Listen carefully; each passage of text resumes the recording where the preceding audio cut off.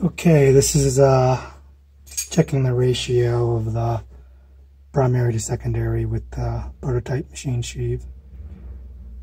Got a um, screw here and a marker mark there.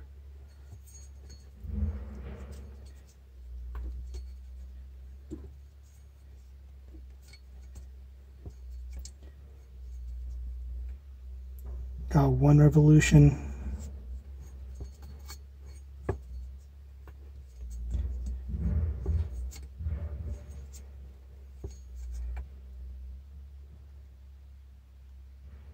two revolutions.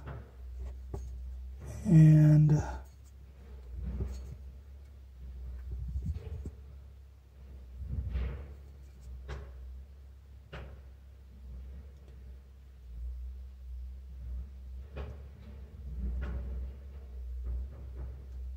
right about there. So here's a screw let me move the camera. Here's a screw. Here's your regeneration marker. So two.